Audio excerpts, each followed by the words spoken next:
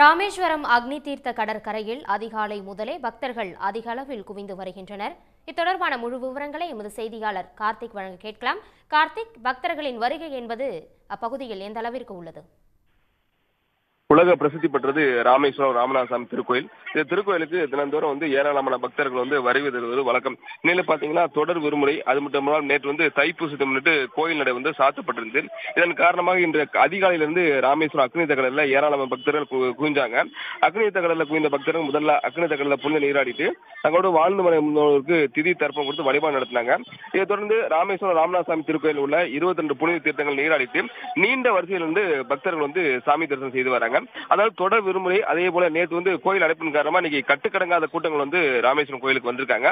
அதை கட்டுப்படுத்துறதுக்கு காவல்துறை வந்து பல்வேறு பாதுகாப்பு ஏற்பாடுகள் செய்யப்பட்டிருக்கு. விரிவான தகவல்களுக்கு நன்றி கார்த்திக். உடனுக்குடன் செய்திகளை தெரிந்து கொள்ள சன் நியூஸ் பெல் ஐகானை கிளிக் பண்ணுங்க.